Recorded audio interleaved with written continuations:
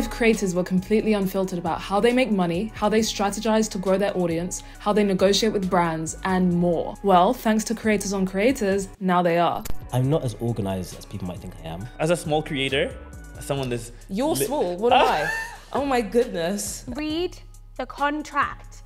Don't just think because she said four weeks organic on email, there isn't some hidden charges in the T's and C's. when I was actually ready to quit the entire campaign. Oh, and they were paying really highly. We love the content you, you post. Like it would go so well with our cleaning product. And I'm like, And you're like- I've never cleaned in a video in my life. Do you ever find yourself sometimes paying to work with a brand?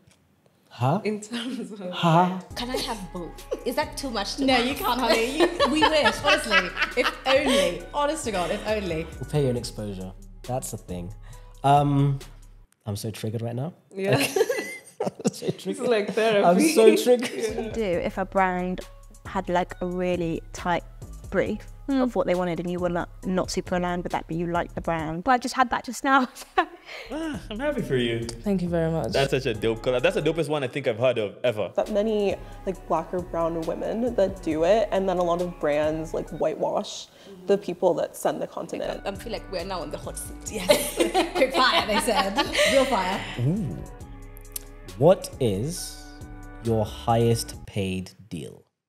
I'm one of the executive producers on this series. Let me tell you a bit about it and how we pulled it off. If you're new here, hi, I'm Tati Kapaya. I'm a lifestyle and travel content creator. To be honest, I make videos about absolutely everything. But this new podcast series is easily one of the most exciting projects I've ever worked on. So, firstly, what is creators on creators? Think actors on actors, but with creators. So, super unfiltered conversations talking about money, strategy, brand deals, everything, but with some of your favorite creators. I would consider myself a full time creator. I do a bunch of other things as well, but I would always wonder behind the scenes how are other creators doing this? And I was having conversations with other creators who are my friends, and we were always like, what are we actually doing here? How much are you getting paid for this deal? How much should I be charging for this? What is usage? What is whitelisting? What are all these things? So there definitely just needed to be something for us creators to learn from each other and help other people. I think we need to stick together. We need to form a community. And that's exactly what Creators on Creators is aiming to do. I can only speak from my experience of being a black female creator, but when it comes to being a minority in any industry, it does sometimes feel like you're very outcast and it's hard to access that knowledge. Accessibility was a huge motivator in creating this series. So that's a brief rundown as to what it is and why it is. Let's now go into how this all came to be and how it's going. So I came up with the idea in December 2022 and I told my friend Becky, I was like, oh, I really feel like there needs to be something like actors on actors, but for creators.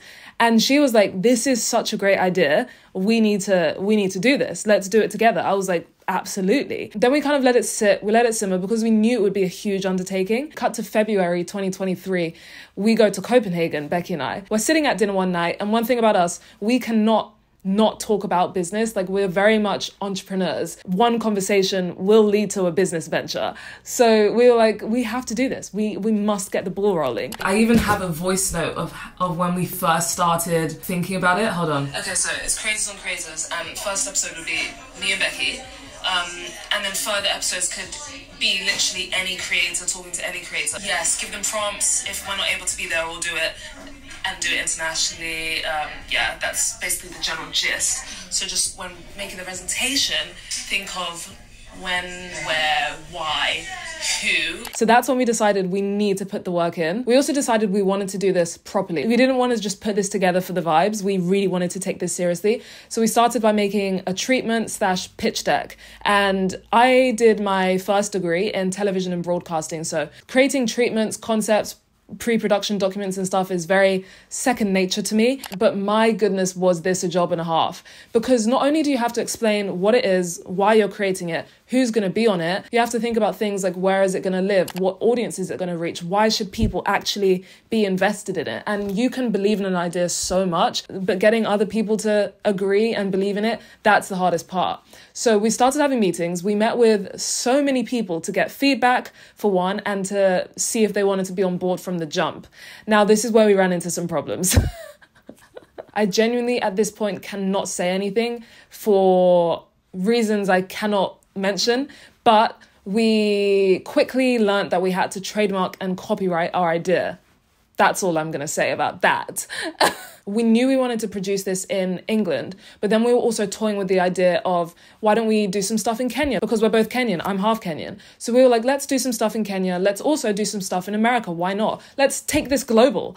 But taking something global means getting legal protection globally, right? The trademarking and copyrighting process in the UK, so easy. I don't know why it costs £12 in 10 minutes to set up a full company. It's so easy in the UK to do any legal stuff, right? The USA, completely different story. You have have to have an attorney, you have to pay government fees. Not an easy process whatsoever. The same in Kenya, you can't just have one copyright in one country and assume that's going to cover you everywhere you go. And the process of copyrighting and trademarking intellectual property is very, very difficult because how do you copyright an idea? How do you copyright a video? Do you know, it's very up in the air. So you usually focus on things like the logo, the color, the font, the name, obviously, but you can't necessarily copyright an idea. But when something is so heavily in the public domain, it's a lot easier. Our issue was it wasn't yet. This was all before anything had launched. But the challenges we faced so early on only proved to us that we had such an incredible idea that we had to run with and we had to see through. So that's exactly what we decided to do. So now the challenge came of how do we make this first pilot season incredibly worthwhile? We need excellent creators. The challenge with this is the format. The format heavily, heavily relies on other creators willing to take part. How do we get creators to take part in a series that has no digital footprint, no proof of success, we have to use our connections. So, luckily, being in the content creator space, we have content creator friends. So, that's exactly what we did. We used our network and got creators from the US, the UK, and Kenya to build the first season. 12 creators, six episodes. If you haven't seen Actors on Actors, they get two actors, put them in a room, and they have very deep conversations about acting. We wanted it to be a bit more regimented and a bit more organized, just to make sure that the audience and the creators in the episode were getting the most out of the conversation. So we made different segments. So we have the creator and the strategy, we've got the creator and the inspiration, we have money talks, and more. So we really thought everything through. And in terms of the actual guest outreach, again, because nothing was in the public domain, we had every guest sign an NDA. And that was probably the weirdest thing for me because asking your friends to sign a non disclosure agreement is so wild. But you do have to remember to separate business and friendship, and everyone understood that. They were like, oh, absolutely, we'll sign an NDA. This isn't even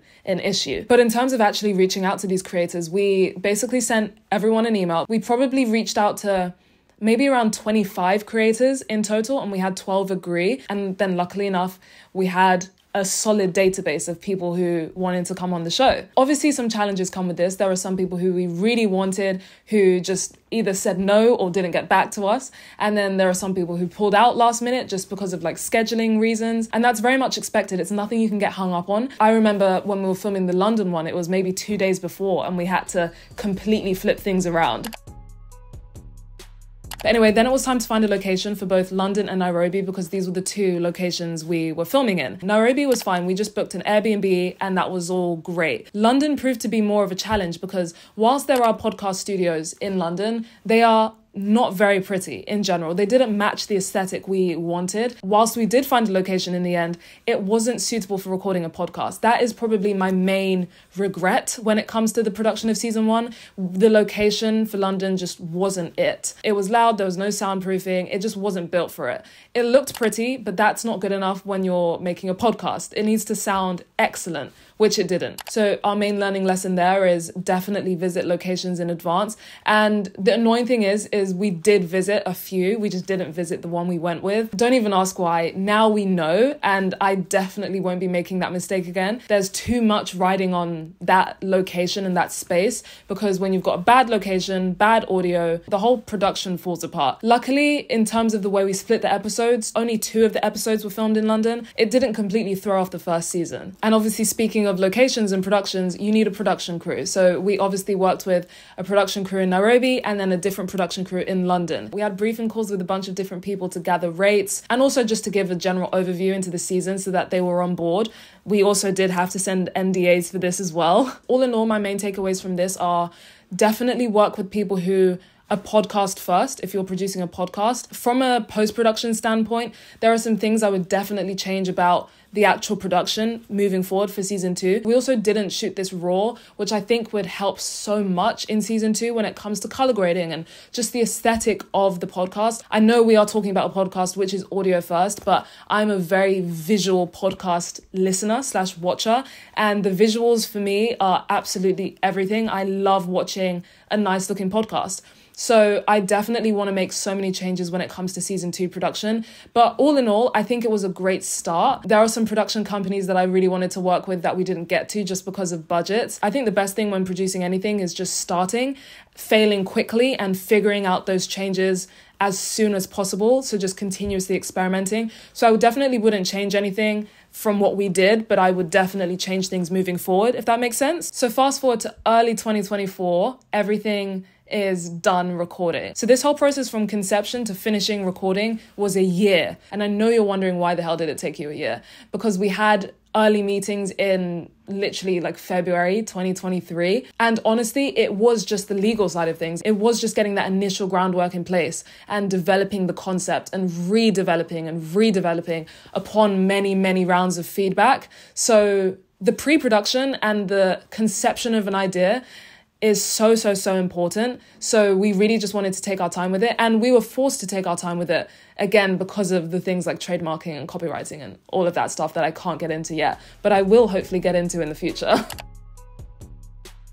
So, if you don't know, I did digital marketing as my second degree, my master's. This is where the budget goes. Like, I knew that if we want to market this properly, we are going to need to spend money. We wanted to have screenings and we wanted to send PR boxes and we wanted to, you know, have photo shoots and do all of this stuff, and that costs money. One of the things we compromised on was doing billboards and physical advertising, but you can create some great mock ups using AI. So that's the route we took with that. But in terms of getting PR boxes and doing a screening, that was probably one of the most exciting but challenging things because we really wanted to get some brand partners to partner with us on these boxes. And we managed to. We were so, so, so lucky and grateful grateful to be able to work with some incredible brands for both London and Nairobi. They were so gracious in giving us products to put in PR boxes, things to have at the screening, like, for example, Propcorn. They gave us so, so, so many bags of popcorn to have at our screening, to have in PR boxes. Same with Ember, they have heat control temperature mugs. The same with Cawston Press, they sent over so many cans of their drinks. So we worked with some incredible brands, and the process of pitching to these brands was a whole different beast. So we had a whole partnerships deck. So you're obviously doing a similar thing where you're convincing them why. Why do they need to have their brand be attached to creators on creators. So in the pitch deck, we highlight things like the season one guests have a combined audience of 1.45 million followers. So think about the reach the podcast is going to get just from the jump. Things like why we're creating the podcast, the ways in which they can get involved, and how it's going to be for them. Obviously, you want to highlight what you want to achieve out of the partnership, but you also want to highlight what they're going to get. And if a brand is looking for that extra brand awareness, perfect. It depends on the brand's KPIs at the end of the day, their key performance indicators. And again, this was extremely special because there was no proof of success. There was nothing out there in the world that proved to these brands that this is going to succeed, but they still believed in the vision, which was absolutely incredible. In terms of socials, we had to create a short and long term strategy. So we started posting on our socials a month before the actual launch, just building some anticipation, building some excitement. And one thing to note with the strategy is that we really wanted to emphasize the fact that we wanted to be adaptable. We want to continue, again, failing fast, learning, adapting, changing with the times. We don't want to be slaves to a content calendar, you know? And then it was time to have our screening. And preparing for a screening is wild. Location scouting is the first thing. We went with Curzon Cinemas in London and the Unseen Cinema in Nairobi. It was so great to be able to meet with some of the creators on creators community. Again, people who are believing in the vision from day one before they've seen absolutely anything. We had to put together a guest list. We wanted to keep it exclusive, so it was invite only with some plus ones and friends and family. But we were really focusing on the creators who were on the episodes, the creators who we would potentially want to be in future seasons, any industry partners that we want to work with, and anyone else in the industry. For example, talent managers and agency owners. And obviously, we're screening a podcast. How do we make this engaging? We decided let's make a supercut of every single episode in the series and make like a 40 minute video that we can show at the screening. And this was my job eight hours of footage, three cameras, two audio tracks. Such a challenge, but so, so, so rewarding because watching it come together and watching people's reactions to the screening was so special. I feel like I should show you some of it. Game. It's time for a game. Do you want to go first or should I go first?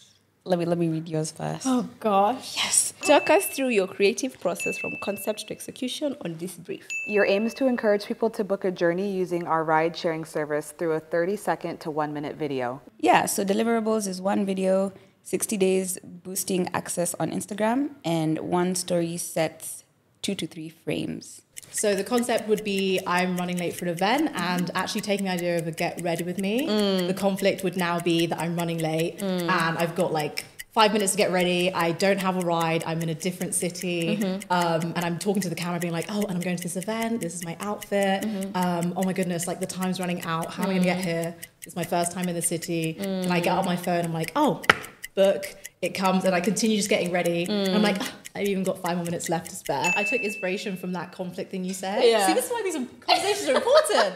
For the reel and TikTok together, I do 2,500, and then with the story set, 800 together. So in total, maybe around like three thousand pounds. Let- Let's make it a flat a flat rate of 200 after tax. Oh, okay, Yeah, nice. but because it's a luxury, it'd probably be higher. Yeah. But then there are other costs. For example, production. Am I the one shooting, or is my videographer shooting it? Okay. Yeah. One thousand eight hundred dollars to two thousand dollars. 1.3 for the reel. And then for story sets, yeah, probably like 300. And then usage on top, probably like another 500 or so. That'd be 300 plus the 1,000 plus the 1,500. It'll be 2528. Yeah. I feel like your rate should be higher though. For that concept? Yeah. Your audience is still of value. So you still need to Mm. factor your audience in, not just the effort you're putting into the video. Quite smartly put. Probably 3,000. With the ad usage as well. Ooh, we're looking at five to seven. Yeah, that's what I thought. Yeah, definitely. 2K for the reel, uh, 400 to 600 for the project. Okay. Yeah. Okay, okay, okay. Yeah, That's good. 2.6. But it's their usage. I would give, I'd charge like thirty percent of what the video costs Mhm. um, for the boosting. I don't know how it is in LA, but like here, like UGC boosting, etc., is really like overlooked. Like I had conversation with brands where I'm like, this is my fee, and because you've asked for this, it's extra. And they were like, no, because you're making the video for us, so we should be able to use it. I'm like, that's not how it works. Yeah. If you want to make a video, go make a video, make a concept. But if you want me to be in your video and you want the same skill that I put on my page on yours, then there's a fee attached to that. And cut to now, we're about halfway through the season by the time you're watching this. My episode just went out, so definitely go check that out. Me and Raymond were talking for like two hours. It's such a fun episode to watch. All of that for a six week run, and now we start pre production for season two. I'm just so excited to build a community of creators and aspiring creators where we can just learn from each other. We can interact, we can meet up, we can do so many things together and feel like we actually have a community. So if you haven't already, definitely go check out Creators on Creators, join the Conk community. I think it was like one episode had gone out and there were already over a thousand people on Instagram following. It's just wild to see the speed at which this is growing and the community we're starting to build. I'm so, so, so grateful. And I speak a lot about being busy all the time. So it was nice to kind of bring you behind the scenes and show you one of the things that I spend a lot of my time doing. Um, and that is being an executive producer now. So yeah, thank you so much for watching. All my social media links will be in the description below. So feel free to follow me over there. Definitely go follow Creators on Creators for more. I'm going to go now. I'll see you next time. So bye.